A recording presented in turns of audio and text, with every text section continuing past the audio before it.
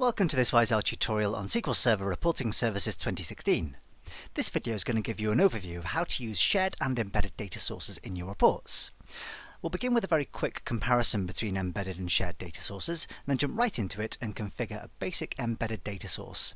We'll look at how to set up a connection string and give you a quick overview of the basic authentication settings. We'll then look at how you can create data sets based on that data source and then generate basic reports from those data sets and before we finally deploy them to a report server.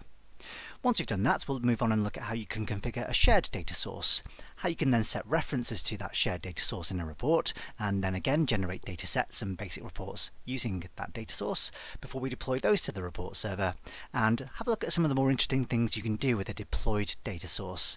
So we'll have a look at how you can modify the connection string, how you can overwrite it and replace it with, an, with a a different version, and how you can also delete your shared data sources from the report server. So a few things to do here, let's get started. Now just before we get started with the main part of the video, there are a few things you'll need to make sure you've done first. So we have a little playlist called SQL Server 2016 Getting Started that will help you out if you need help with any of this. But you'll definitely need to make sure of course that you've got a copy of SQL Server 2016 installed, and this little video here shows you how to do that.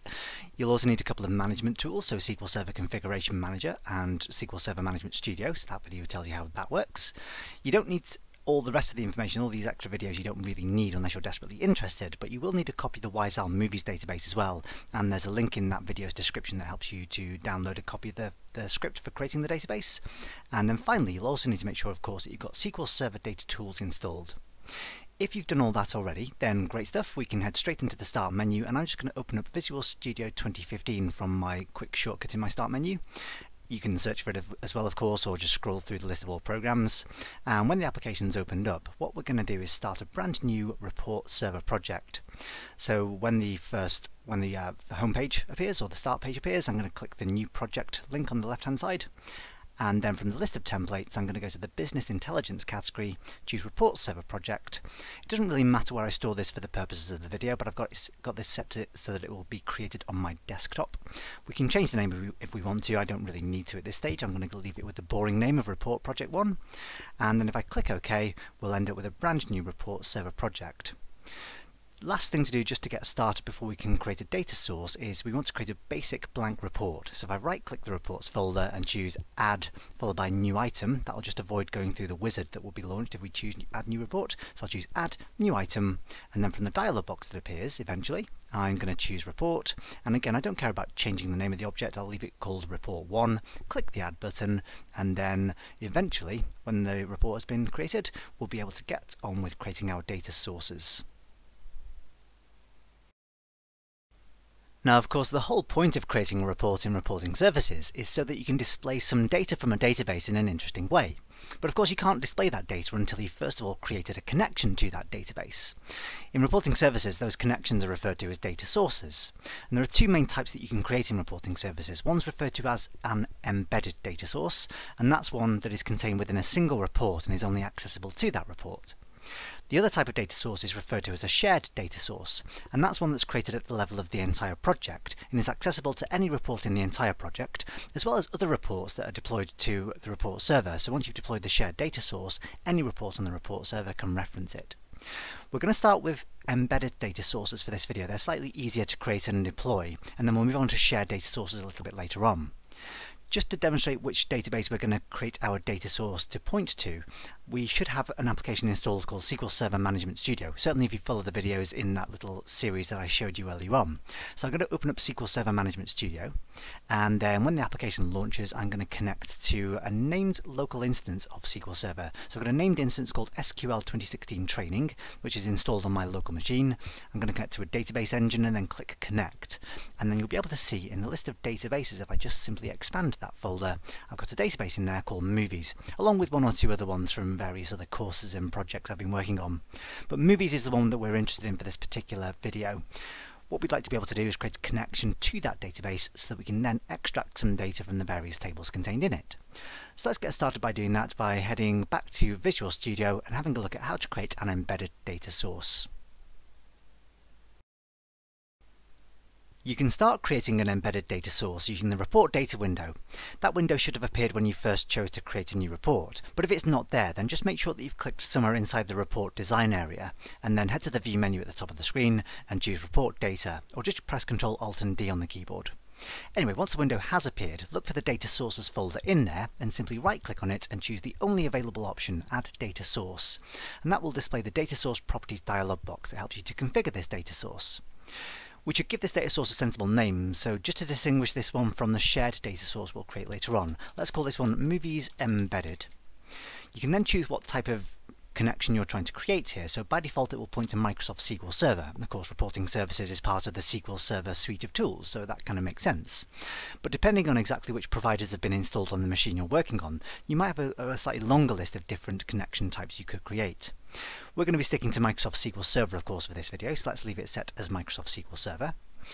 You could then, if you know how to write out a connection string from scratch, you could simply type it into this little text box here it says click here to type or paste a connection string. But it's much more convenient for us if we use the little edit button to launch the query connection string builder. So I'm going to click edit and then that will open up a second dialog box that helps me to configure the connection properties. Now the first thing we should do is specify which server our database is stored on. There's a tempting looking drop down list here, but often when you click on that drop down list, if I just choose to do that, it takes forever to try to populate itself and then I often end up with absolutely nothing in the list anyway. I often get a not responding message as well. So just while that's trying to sort itself out, what we're going to do instead is type in our server name. If I just switch back to SQL Server Management Studio, I've got a local named instance of SQL Server called SQL 2016 Training, and the name of my local machine is listed here. That's the uh, that's the server name for, for our, purposes. So I could just type out that entire server name followed by a backslash and then the name of the instance of SQL Server I was interested in but it's because this is installed as a local server, it's actually slightly more convenient and easier just to type in local host, followed by a backslash and then SQL 2016 training. Uh, it doesn't matter, it's not case sensitive, so I can type it in in all uppercase or all lowercase or a mix of the two. It's actually even more convenient, rather than even typing in localhost, I could just replace the word localhost with a full stop, which is a shortcut to the local machine. So that's a fairly convenient way to, to refer to the specific instance of SQL Server on which your database is stored. If you've done that part correctly, what you should find then is that you can simply select your database name from a drop-down list. You don't have to do this at this point actually. You can just create a connection to the server or the instance of SQL Server and then later on specify where your data comes from in the data set. But for the purposes of this video, I'm going to select the movies database and this drop-down list does actually work. If I click on the drop-down arrow, that will show me a list of all of the databases available from that server. So I can choose movies and then let's have a quick look at some of the authentication settings. Now you'll notice that the authentication property has been set to Windows authentication by default. And all that means is that when somebody tries to access this data source, the data source will use that user's Windows credentials. That's definitely the right choice for this particular example because that's the way that we configured our SQL Server when we first installed it. If you followed the video series about installing SQL Server, then you will have done the same thing if you followed my instructions. Um, if not, then you might have a different setting applied. Just to check on that, we could switch back to SQL Server Management Studio, and then we could right-click the top node here in the Object Explorer and choose to view Properties. On the dialog box that pops up, there's a security page, and that will tell you which type of authentication mode you're using. So currently I'm using Windows authentication mode, and that's all tied into the logins and users configured when we first installed SQL Server. Another option there might be SQL Server authentication mode along with Windows authentication, which means you can set up specific usernames and passwords as part of the security settings for your SQL Server. I don't want to get into all the detail behind that at this point. There is more information about that on as part of the SQL Server 2016 Getting Started series. So there's a, a video there about logins, users, roles and schemas, which contains information about how this works.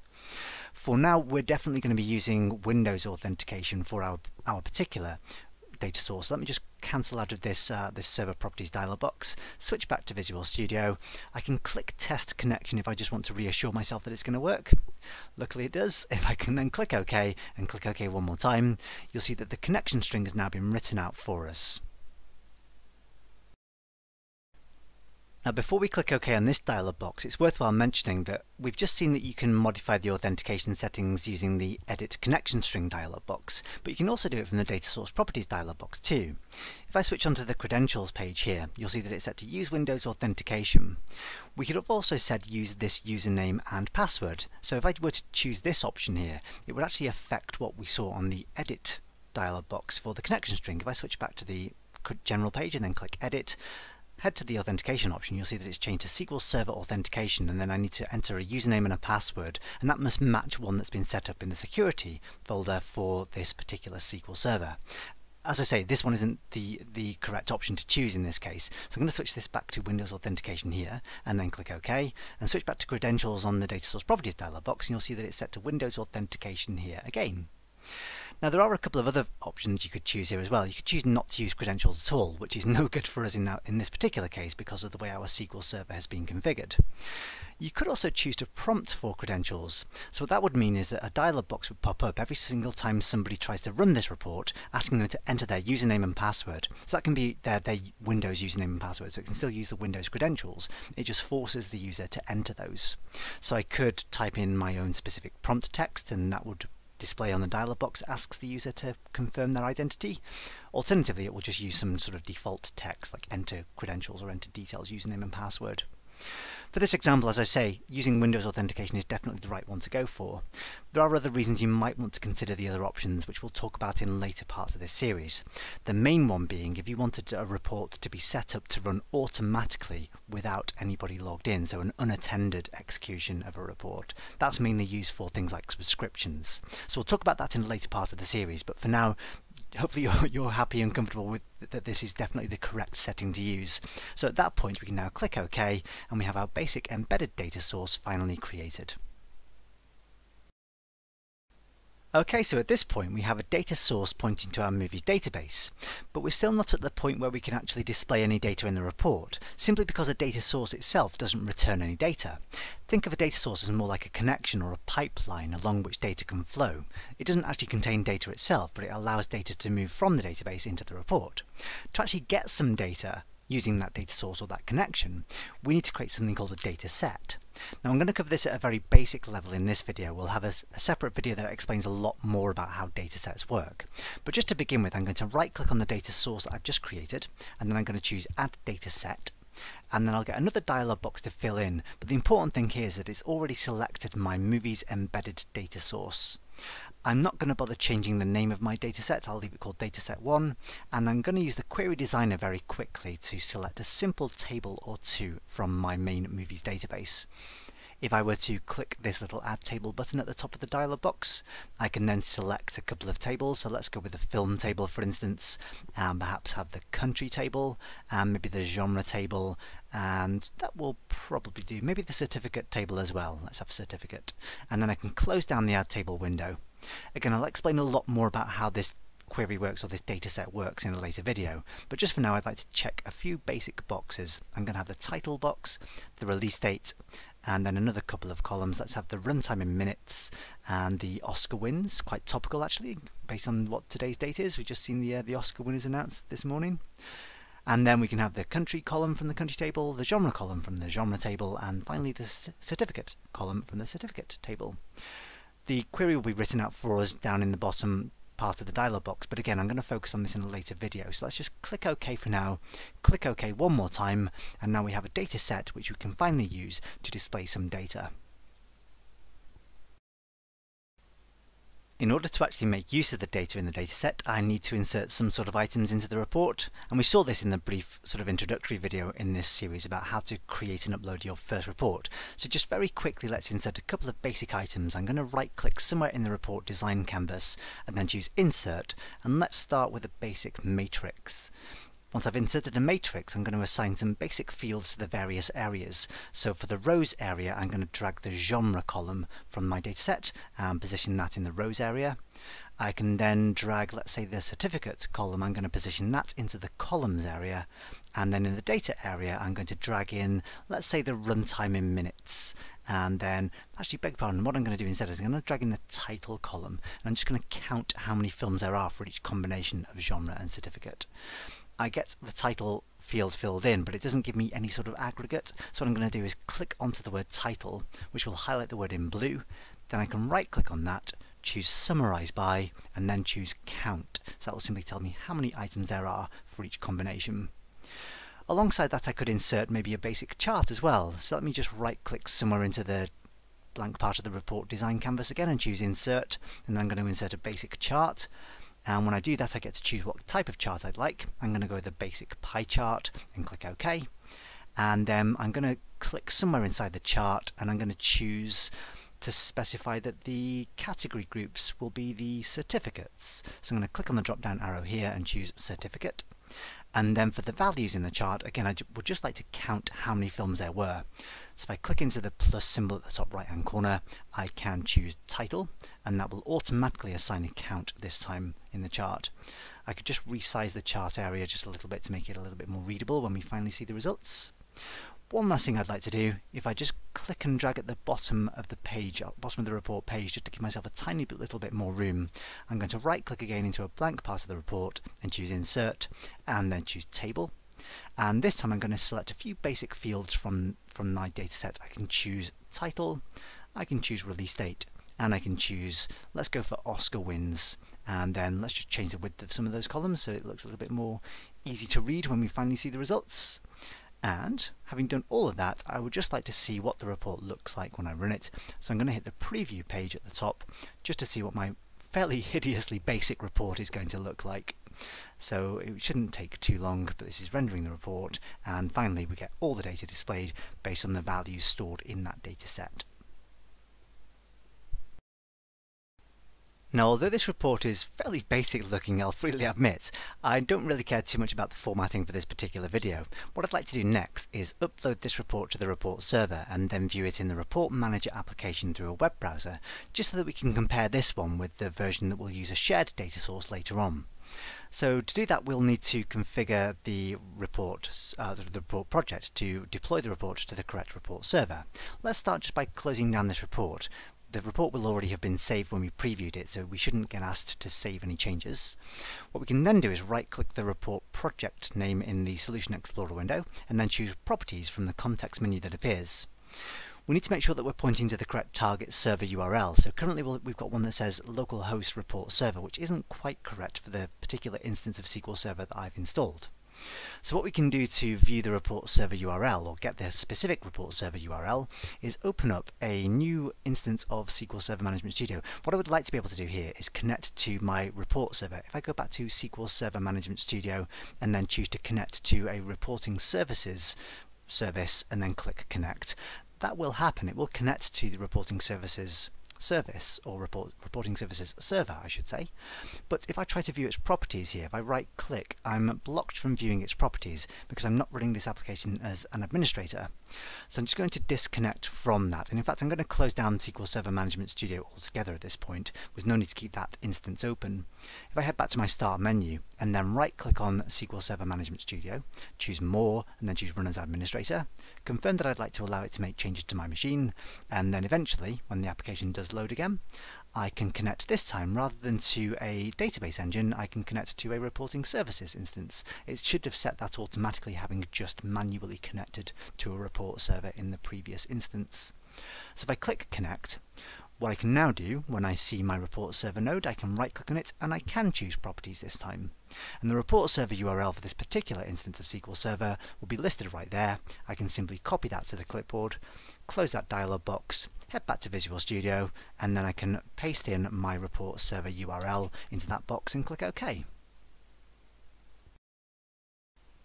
The next thing I can do is deploy this report project, but I'm going to run into a similar sort of issue that I've just had with trying to view the report server properties. If I try to right click on my project and then choose deploy, the process will begin, but it will fail fairly rapidly immediately afterwards, so I get a, an error to do with permissions being granted to this particular user, which is not particularly handy. So I'm just going to hit the, uh, the error to clear it and then close down that error list and close down the output window. And then what I'm going to do is close down the whole of Visual Studio using the cross in the top right hand corner. What I can then do is head back to the Start menu and find my uh, Visual Studio shortcut, right click, choose More, then choose Run as Administrator, click Yes to allow it to make changes. When the application loads into the start page or the home page, I'm going to choose to open up a recently used project. So when it does finally appear, there it is, I should have a list of my recent projects. So there's one there called Report Project 1, which is the one that I was just working on. Alternatively, I could go to the File menu and choose Recent Projects and Solutions and choose it from that list, or even just choose to open a, a project or solution and browse for it, but far more convenient just to click the one in the recent list. So if I were to do that, I'll open up this enormous project with uh, with my whole single report in it. What I should be able to do now, however, is right click on the report project at the top of the uh, top of the Solution Explorer and then choose deploy again and this time I should see not an error message but a list of success messages. So deploying a single report, no errors, no warnings, that's now succeeded. What I'd like to do next is view that report using the Report Manager web portal. So to find the URL for that web portal application, I can head to the Start menu, and again, if I've installed SQL Server in the same way that I described in the short video series about getting started with the SQL Server, I should have another application here called Reporting Services Configuration Manager. I'm just going to launch this tool normally and then click yes to allow it to confirm uh, to confirm that I want to allow it to make changes make sure I'm referring to the correct report server instance. So the one I'm using here is SQL 2016 Training, and then click Connect. And then there's a separate page on the left-hand side called Web Portal URL. If I click there, that will give me the URL that I need to browse to. Now really annoyingly, I can't right-click and copy this to the clipboard, which is what I really want to be able to do. I can't select that text in the dialog box either. The reason I'd like to be able to select that text is because if I just click onto it, it's going to try to open up my default web browser, which is Google Chrome as it turns out, and then try to browse to the web portal, but it's going to give me an error message saying that I'm not allowed to view this folder.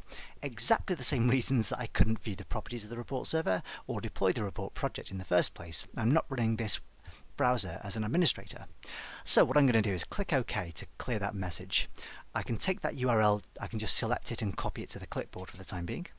What I can then do is just open up either Google Chrome or even another web browser. It really doesn't matter which browser you choose to use these days for reporting services. I'm going to use Internet Explorer just for something slightly different.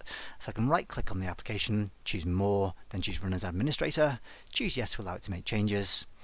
Have a quick look when it loads, click into the address bar, paste in the URL that I've just copied, hit enter to browse to there, and what I should find very shortly once it's loaded is a brand new folder called Report Project 1 and if I click into that folder I should have a single report there and if I click onto that report it will show me all of the information, all the, the objects that I designed before, the matrix, the chart and that fairly boring looking table. So there they all are.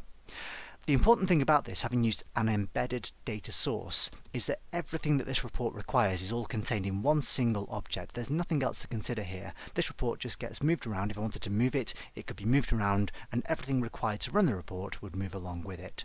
So that's one of the nice things about embedded data sources. Everything's self-contained in one single item. Now there are a couple of small downsides to using embedded data sources. Primarily, you need to create a brand new embedded data source every single time you create a new report, which gets a little bit tedious if you're always connecting to the same database. Also, if you decide to change anything about your data source, maybe you change the name of the database for some reason, or change um, maybe the server on which it's installed, or maybe change some credential information, then every single embedded data source that previously pointed to your original database on your original server will need to be updated as well, and that can be really tedious.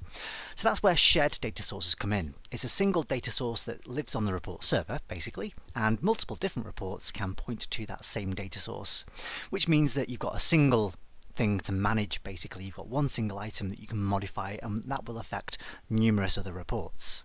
So let's have a quick look at how we can design a basic shared data source. We'll connect to the same movies database, but we'll do it as a shared data source. If I switch back to my report project in Visual Studio, I'm just going to clear the output window, and then before I do anything else in terms of creating new reports, I'm going to create a new shared data source. And you can do that in the Solution Explorer window. You don't even need a report open to do this. So I'm going to right click my, my shared data sources folder and choose Add New Data Source. So as you can see, the dialog box for creating a shared data source is virtually identical to one for creating an embedded data source. We can give the data source a name, so let's call this one movies shared. and then we can choose what type of connection we're going to create. So of course we're going to connect to a SQL Server database, but all of the other providers that are available to us as well, based on which providers have been installed on your machine.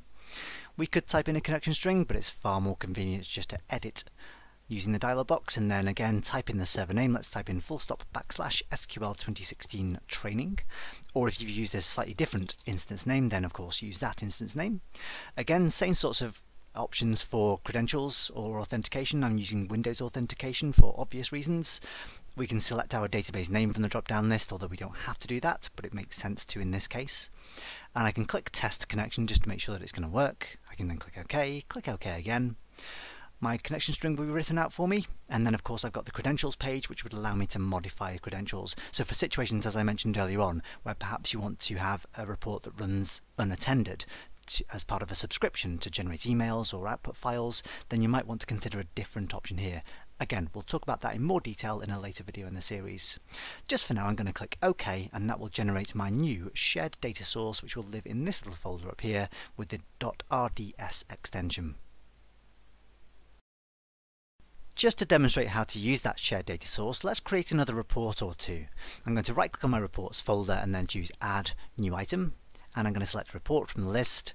I'm not going to bother changing its name report 2 although it's a fairly rubbish non-descriptive name, I'm going to leave it as report 2 and click add to generate a brand new blank report.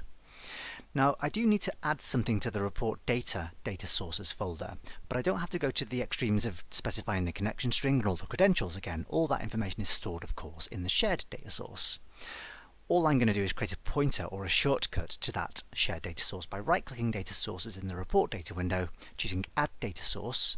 I could change its name here if I like. Maybe let's call this one um, ref to movies shared, something along those lines. And then I don't need to set up an embedded connection, of course. What I want to do here is use a shared data source reference. So I can select that option and then from the drop-down list, select from all of the shared data sources that belong to this project. If I choose that option, there is a credentials page available, but I can't modify anything on here, of course. All that's used, all that's stored in the shared data source, so all the credential information is set, is set up in there. So that I can browse that page, there's nothing I can do there. All I need to do here is just click OK. So it's really just a case of selecting the shared data source from a drop-down list. It's as simple as that. The icon for a, for a shared data source reference is slightly different to one for an embedded data source. It's a little sort of shortcut icon indicating that it's a pointer to something else.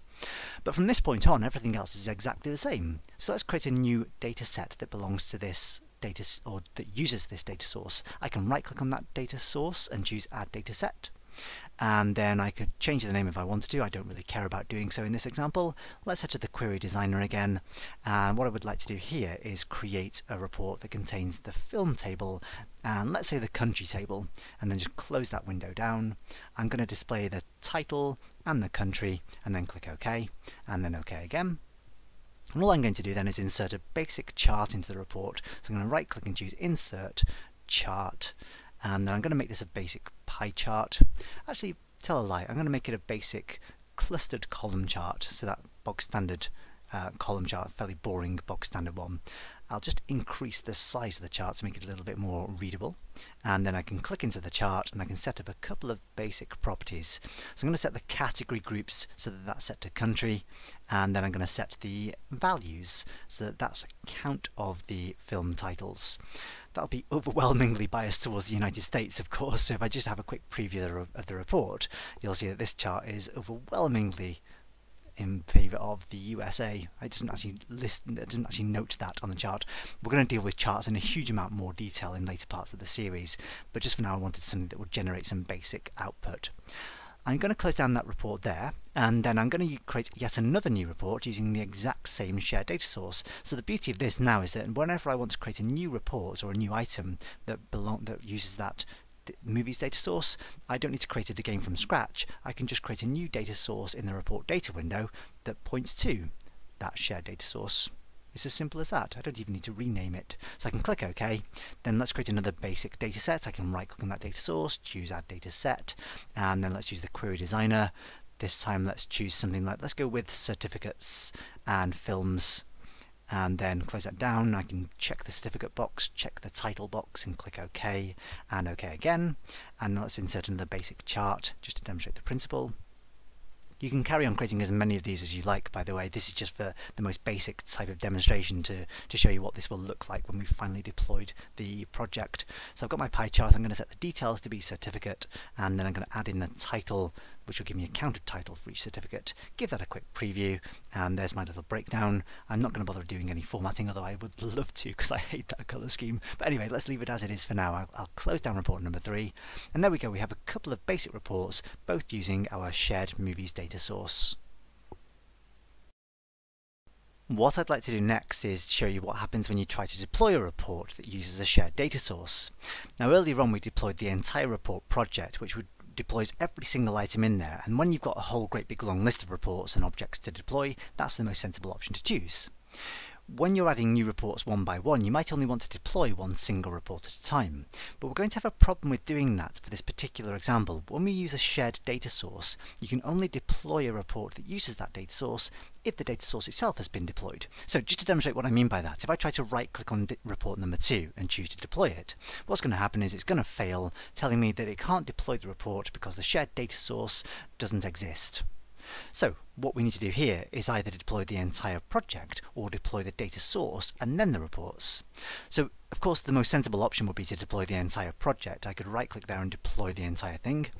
Bear in mind that that would overwrite any existing copy of report number one. That might be appropriate in this case. Alternatively, you could choose to deploy the individual data source and then the report. So I could right click on my movie's shared data source and choose to deploy that first and that should succeed. And then I can right click on report number two and then deploy that and that should succeed. Let's do the same thing for report number three. I can right click and deploy that and then that will be all the objects required all deployed to the report server. Just before we go and have a look at these reports and the data source in the web portal application, it's worthwhile mentioning that once you've deployed a shared data source once, by default, you're prevented from overwriting that by trying to deploy it again. So if I try to deploy either the entire project or just that shared data source again, if I right click and choose deploy, this time I'll end up with a failure message. It says I can't deploy data source movie shared to the server because it already exists and a specific property has not been specified. So it may be the case that you wanted to have modified your shared data source and redeploy that to the server, in which case you would need to modify a quick little setting of the report project. So if I were to right click on the report project and choose properties, in the dialog box that appears there's an option that says overwrite data sources, which is set to false by default. You can change that to true and then click OK. And then if I right click on my shared data source again and choose deploy again, this time it will tell me that it succeeded properly, so there's no warning message about it not being able to be deployed. Okay, so to see this data source and the associated reports on the report server, we could head back to our web portal application in, in my case, Internet Explorer, but you might have chosen a different web browser. Why wouldn't you? And then I'm currently browsing into my report project folder. So if I just switch back to the home page first of all, what I'd now like to do is refresh the home page by just either pressing F5 or clicking the refresh button on the toolbar. And what should happen this time is I ought to end up with two separate folders. So there's the one with my report project reports, but I've also got a separate default data sources folder, and that's where the shared data sources for your entire report server will live. So if I click on the data sources folder, that will show me my movie's shared data source. If I click onto that, that will display another dialog box showing me all the information about that data source. So you can see the connection string has been written out there for me, and it shows me any other credential information, etc. I can test the connection, I can modify it, so I can actually change various different things about this data source even now that it's been deployed to the report server. I can also see which items depend on this data source. If I click dependent items, it should show me that these the the shared, movie shared data source feeds report 2 and report 3. So I can have a quick look at the, what data those display and again that will just show me those basic boring charts. I could go back to the previous page and have another look at report number 3 instead and that will show me that's slightly less hideous, more hideous, I'm not quite sure. Maybe I'm getting used to those colours. Um, if I wanted to look at all the reports in the entire report project I could either browse directly to that folder using the breadcrumb at the top or I could go back to the home page and then click into the report project folder and I can see all three reports. So of course this one doesn't use a shared data source, that still uses its embedded data source. This one, or these two, use my movies shared data source. Now it's worth mentioning that once your shared data source has been deployed, you can make changes to it which will then subsequently affect any reports that rely on it. So for example, I've actually got a couple of different instances of SQL Server installed in this particular machine. If I browse back to SQL Server Management Studio, if I connect to my original database engine which was SQL 2016 training, that's where I was basing all of my queries all of my datasets and data sources on when I was designing my reports. Now that might represent perhaps a test server where you have some test data for creating your basic reports in the first place. But when you've deployed your reports and they've gone live, perhaps you want to force those reports to use the production server. So let's imagine that I had another server, which I do have, if I connect to another database engine, and this time I'm going to connect to my just uh, an instance called SQL 2016, so without the training extension. If I connect there, then I'll see that I also have installed in this instance of SQL Server a movies database. So this could be a perhaps a, a production server as opposed to a test server. So what I could do, because there are so few changes, essentially it's just a change in the instance name that I need to modify here to update the, uh, the, the shared data source.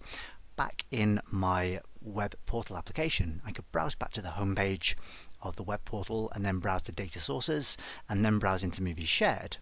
And then all I would need to do is modify the connection string. Sadly, it's not quite so easy to do here. I don't have a nice little dialog box to edit the connection string, but I could, because it's such a simple change, I could just edit the connection so it's just called, pointing to an instance called SQL 2016, and then I could choose to test the connection, which will hopefully work, connected successfully, and then apply those changes.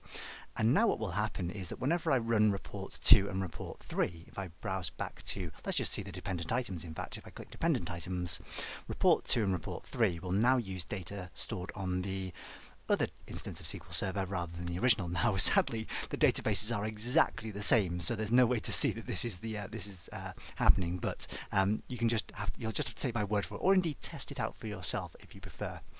So, worthwhile knowing that you can modify the shared data source once it's been deployed to the report server, and that will of course affect any reports that rely on that data source, but of course any that use embedded data sources will still be using their bog standard original data.